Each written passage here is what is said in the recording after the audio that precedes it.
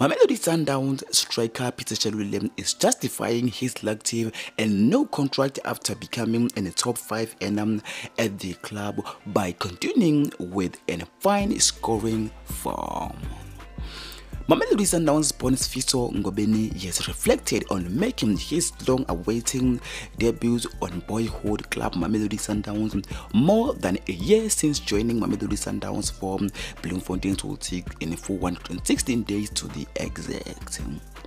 Orlando Pirates striker Zakhele Lepasa has opened up on their pressure face on his back for the next day following the 2-0 victory over TS Galaxy in the DStv Premiership on Saturday.